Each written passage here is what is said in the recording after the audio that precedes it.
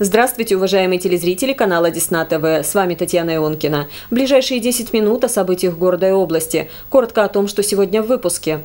Заключительное совещание у главы муниципального образования. Итоги работы Центра занятости населения. Усилен контроль за перевозкой детей. Чествование десногорцев, участников фотоконкурса.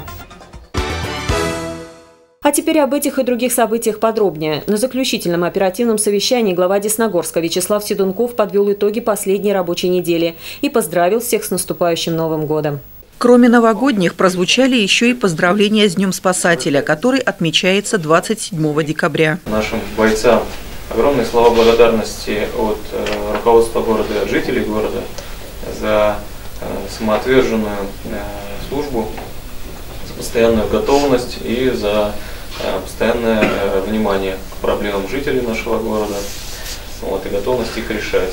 29 декабря закончился прием заявок на участие в городском смотре-конкурсе на лучшее новогоднее оформление объектов торговли. В Десногорский городской совет переданы поправки в проект местного бюджета на 2017 год. Также составлены графики дежурств на предстоящие праздничные и выходные дни. При э, нарушениях в работе систем коммунального хозяйства новогодние праздники, обращаться незамедлительно в диспетчерские э, службы управляющих компаний, а также через э, ЕДТ, в свою очередь, для доведения информации руководства города и принятия соответственных мер.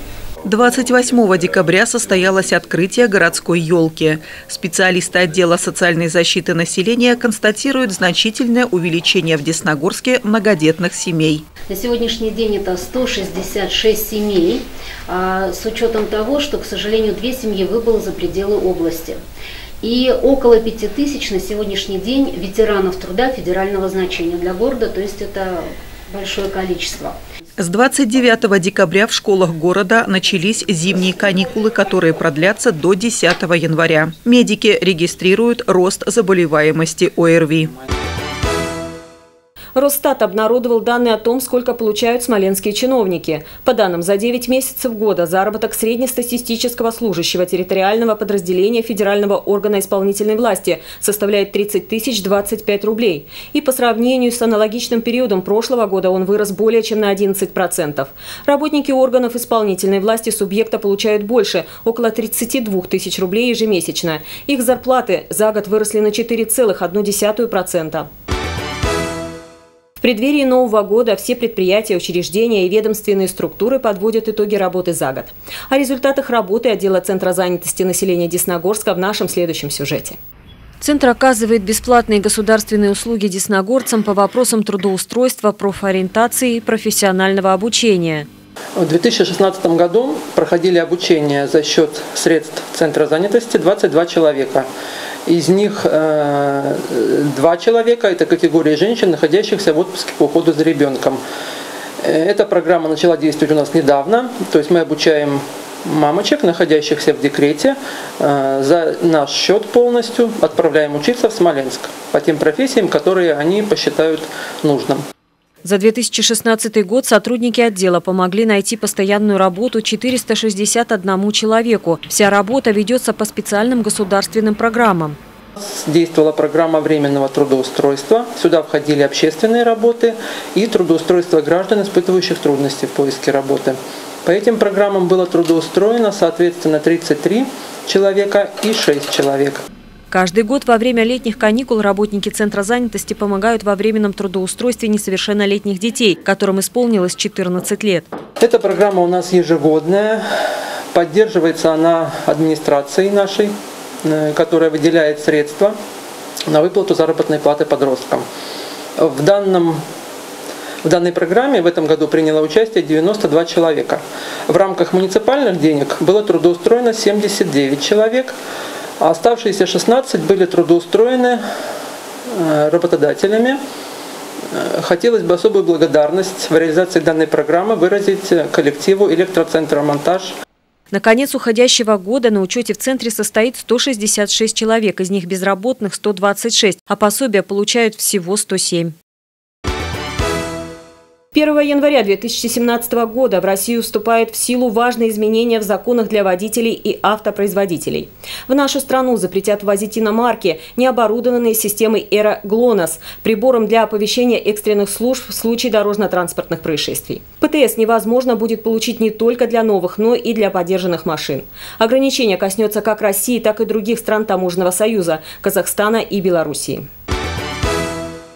предновогодние дни и праздничные выходные по всему региону проходит много мероприятий для детей. В связи с этим сотрудники госавтоинспекции проводят комплекс профилактических мероприятий, включая и сопровождение автобусов, перевозящих детей на праздничные утренники. Стражи порядка не только сопровождают колонны, но и перед выездом проводят инструктаж водителей, напоминая о необходимости неукоснительного соблюдения правил дорожного движения. Проверяют путевую документацию и осмотр транспортных средств. Автобусы должны соответствовать э, техническому регламенту Таможенного союза, нормативным документам, и, соответственно, постановлению правительства 1177 от 17 декабря 2013 года, где определен порядок э, э, перевозки детей школьными автобусами. Госавтоинспекция Смоленской области обращается к водителям с просьбой быть более внимательными и осторожными, пропускать организованные колонны с детьми и отнестись с пониманием к возможным заторам на дорогах, выбирать пути объезда автодорог, по которым организовано сопровождение. В рамках проводимого информационно-профилактического мероприятия «Новогодние каникулы» начальник отдела ГИБДД нашего города капитан полиции Алексей Заводченков встретился с воспитанниками детского сада «Ласточка». Он рассказал детям в игровой доступной форме о тех опасностях, которые могут ожидать их на дорогах. В России запретили розничную торговлю непищевым алкоголем. Разрешено продавать только жидкости, где спирт занимает не больше четверти объема, а также используемые в косметике и для очистки стекол. Роспотребнадзор сообщил о вступлении в силу запрета на торговлю в России спиртосодержащей непищевой продукцией. Поводом для этого стало массовое отравление жителей Иркутской области концентратом «Боярышник», который содержал ядовитый метиловый спирт. Смоленская академия войсковой ПВО отметила 101-ю годовщину создания своего рода войск. В этот день состоялся внеочередной выпуск молодых офицеров. 63 контрактника получили свои первые офицерские погоны и звание лейтенанта российской армии. Стали известны итоги областного интернет-фотоконкурса «Семьи. Счастливые моменты», который проводился в два этапа. Активными участниками конкурса были и десногорцы. Подробности далее. Социальный конкурс, который впервые был объявлен в прошлом году, вызвал большой интерес. Фотоработы четырех десногорских семей вышли в финал, но, к сожалению, не стали победителями. Глава Десногорска Вячеслав Седунков, вручая им памятные подарки и специальный выпуск фотоальбома, где размещены все фотографии, присланные на конкурс, пожелал обязательной победы в следующем году, а также призвал и других десногорцев принять участие в интернет-конкурсе. Свои заслуженные награды получили семьи Якимович, Спасовых, Шипулевых и Терешонковых. Я думаю, что э, здесь вы почерпнете и э, интересные тематики, для того, чтобы в следующем году все-таки в роли лидеров Десногорск представлять. Вот, и э, ждем вас в следующем 2017 году. Спасибо вам за участие в 16 и вот ваши заслуженные призы. Спасибо. Закончилось чествование участников конкурса общей фотографией на память. И в завершении новости спорта. Студентка Смоленской академии спорта Яна Ягорян признана спортсменкой года по версии авторитетного федерального издания «Спорт-экспресс». Уроженка Еревана, которая учится в Смоленске, стала одной из героинь Олимпийских игр в Рио-де-Жанейро. В составе сборной России по фехтованию Яна Ягорян завоевала две золотые медали. В личном первенстве саблисток она в финале победила соотечественницу Софью Великую, а затем в командном зачете уже вместе с Великой стала двухкратной олимпийской чемпионкой. Это все, о чем мы хотели рассказать вам сегодня. С этими и другими новостями вы можете ознакомиться на сайте нашего телеканала desnadefistv.ru. Также мы ждем ваших предложений и актуальных тем для новостей. Спасибо за внимание. До свидания. С наступающим.